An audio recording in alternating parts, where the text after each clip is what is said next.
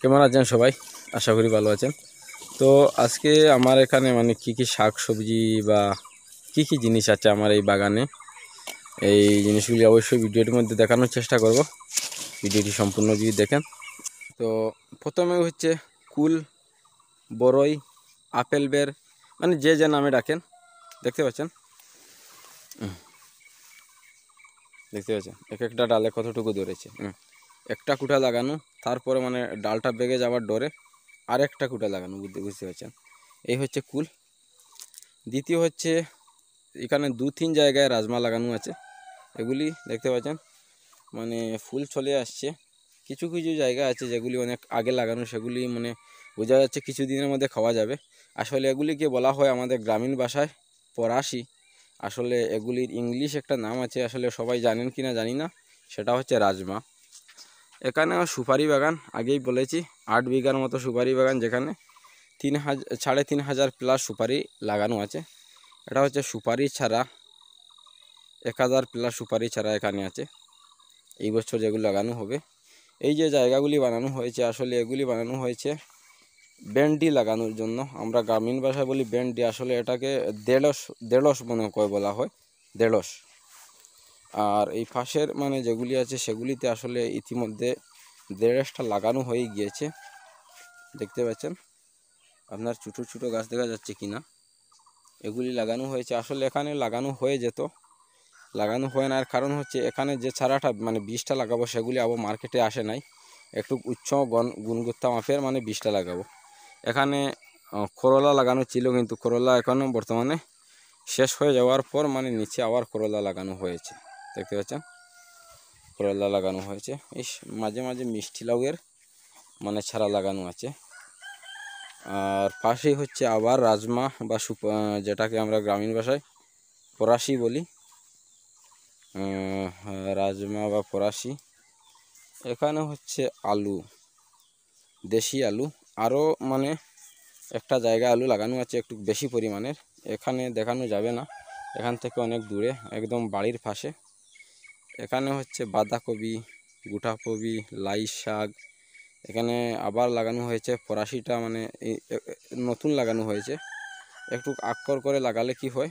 এগুলি উঠে যাবে, এগুলি খাওয়া যাবে, এরপর এগুলি আসবে, এরকম সবগুলি আমাদের একটু আক্ষর করে লাগানো। এগুলিতে নতুন জায়গা বানানো হয়েছে বাকর ফালানোর জন্য। অন্য কোনো নামে কেউ ডাকে কি জানি না।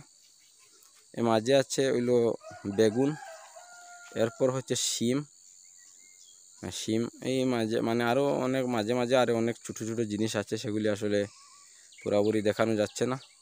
এখানে এই যে ফিশারি দেখা যাচ্ছে মাছ খেতের ফিশারি, এর পাশে আছে এখানে লাগানো ড্রাগন ফ্রুট। এই একদম ফিশারির শেষ মাথাতে আছে আপনার ফুল বা বড়ই গাছগুলি। এই যে ফিশারির আপনার বাঁধগুলি দেখা যাচ্ছে, এখানে হচ্ছে পেয়ারা লাগানো। আসলে যে গ্রামীণ যে পেয়ারাগুলি, সেগুলি না, এখানে হচ্ছে গোল্ড এইট নামের একটা পেয়ারা, যেটা এক একটা পেয়ারা মানে এক কেজির উপরে মানে সাইজের হয়। এক একটা পেয়ারা। গ্রামীণ ভাষায় কি বলা হয়? সফরি। আমরা একদম লোকাল ভাষায় বলা হয় এগুলিকে সফরি। বাঁধাকপি, আলু, দেখা যাচ্ছে।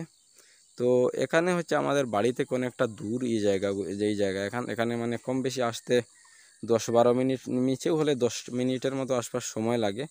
কিন্তু আমার বাড়ির পাশে একটা জায়গা আছে মানে সেখানে মানে একদম বাড়ির পাশে লাগানো, সেখানে মানে আমরা লাগানো হয় যে জিনিসগুলি মানে সব মানে দৌড় দিয়ে এসে পাওয়া যায় যে জিনিসগুলি, সেগুলি লাগানো হয়।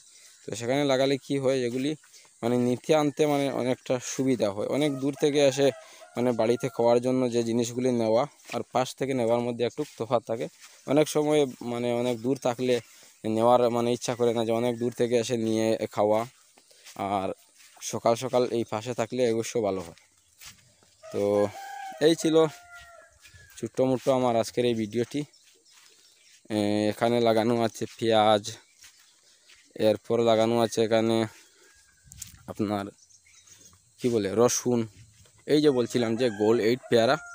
আসলে এটা না দেখলে, আমি এই বিষয় নিয়ে একটা ভিডিও বানিয়েছিলাম আসলে। অনেক বড় বড় এক একটা পেয়ারা হয়, এক একটা গাছের মধ্যে। গাছের ডাল ডুল একদম ব্যাঙ্গে যায় এরকম হয়। ব্যাঙ্গে না, কারণ পেয়ারার গাছের ডালগুলি আসলে বাগানে একদম মাটির মধ্যে মানে জুলে পড়ে যায়। আর ড্রাগনটা লাগানো আছে এই পাশে। এখানে দেখা যাচ্ছে কি, একটু একটু দেখা যাচ্ছে ড্রাগনটা। আর এটা বললাম না, অনেকটা দূরে বাড়ি থেকে। এমন দূর না যেমন দশ মিনিটের মতো সময় লাগে। বাড়ির পাশে যেখানে আছে, সেখানে সব জিনিস লাগানো আছে মানে খাওয়ার জন্য। ভালো থাকবেন, সুস্থ থাকবেন সবাই।